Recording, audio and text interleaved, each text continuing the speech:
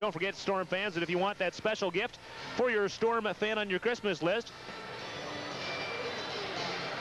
well, we'll tell you about that in a moment because I see Ken Tasker and Alexander Yudin out on the ice, and they're going to drop the gloves and go at it. Tasker against Yudin. Yudin gets a couple of rights in, another right, and Tasker goes down. Quickly, Alexander Yudin making short work of Ken Tasker in the wheeling zone.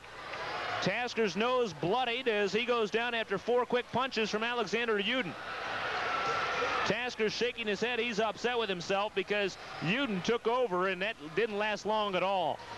Four quick punches from the huge Russian.